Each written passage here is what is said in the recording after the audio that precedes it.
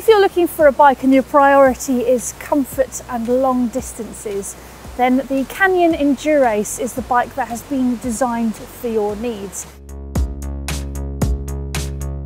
Now this is the WMN or Women's Specific version and it's new for this year, it was released early in 2017, is now available on the market.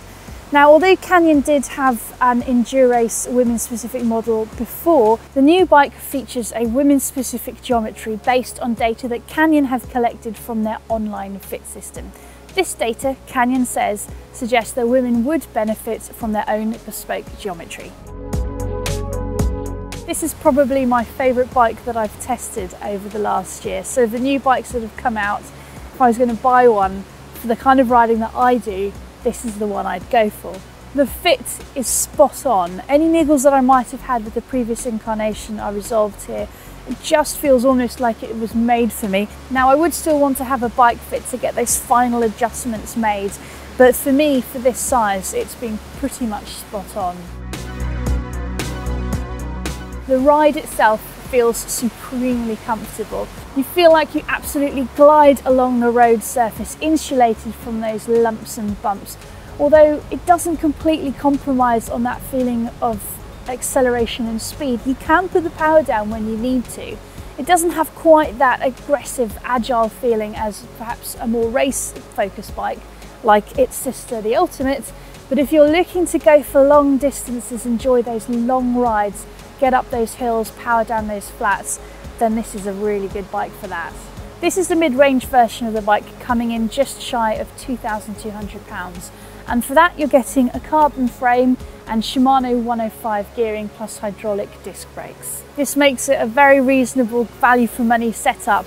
It's got pretty much everything you'd want for that price point. You might like to upgrade the wheels at some point in the future, but generally speaking, I'd be quite happy to ride this bike as it is. It comes fitted with some rather nice Schwalbe Pro 1 tyres with a 25mm width. And as with its sister the Ultimate there's enough clearance there. If you did want to go up to maybe a 28 for an even more comfortable ride you can do so.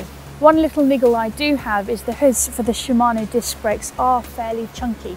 So if you've got smaller hands even with my relatively medium sized hands it can be quite uncomfortable to hold onto the brakes when you're on the hoods for a long period of time and reaching from the drops can be awkward too.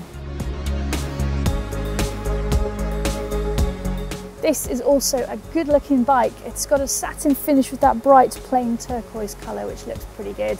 Internal cable routing and a nice neat location for the seat clamp just below uh, the seat tube there. So this version comes with hydraulic disc brakes with through axles you can really feel the benefit of through axles over quick release. It just feels much stiffer, firmer and gives a more confident feeling around that hub area when you're braking.